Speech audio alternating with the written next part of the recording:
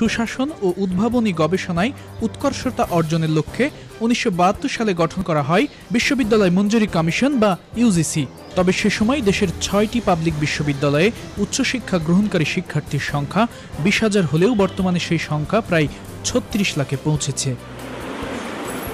এছাড়া দীর্ঘ এই সময়ে দেশে পাবলিক ও প্রাইভেট বিশ্ববিদ্যালয়ের সংখ্যা বেড়ে দেড়শো ছাড়ালেও বাড়েনি ইউজিসির জনবল। কাজ করার ক্ষেত্রেও ইউজিসিকে পড়তে হয়েছে রাজনৈতিক বাধার মুখে। এমন বাস্তবতার পরেও সম্প্রতি দেশের কয়েকটি পাবলিক বিশ্ববিদ্যালয়ের উপাচার্যদের বিরুদ্ধে নানা অনিয়মে জড়িত থাকার অভিযোগ ওঠার পাশাপাশি বিশ্ব র্যাঙ্কিংয়ে বাংলাদেশের কোনো বিশ্ববিদ্যালয়ের নাম না আসায় দেশের উচ্চশিক্ষার মান নিয়ে নতুন করে প্রশ্ন উঠেছে। প্রশ্ন উঠেছে ইউজিসির কার্যক্রম নিয়েও।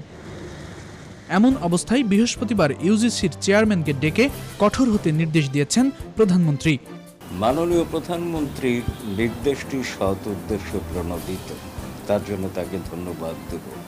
তবে বাস্তব নয়। তার কারণ হচ্ছে যে ধরনের ক্ষমতা থাকা উচিত মঞ্জুরি কমিশন হাতে তা নাই। ইউজিসি এখন যা সিদ্ধান্ত নেয় সব কিছু করে করে মন্ত্রণালয় ফাইনাল অপিনিয়নের জন্য সুতরাং সেই সক্ষমতা তো তাকে দিতে হবে। আর সরকার অর্থায়ন করতে হবে। লোকবল এবং যে লিগ্যাল ফ্রেমওয়ার্ক যে ফ্রেমওয়ার্কের বেসিসে ওনারা কাজ করবে সেটা নাই।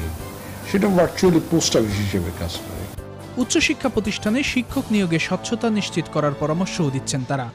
শিক্ষক নিয়োগের ক্ষেত্রে যথাযথ পদক্ষেপ এবং মেধা শুধু মেধারই স্বীকৃতি দিতে হবে।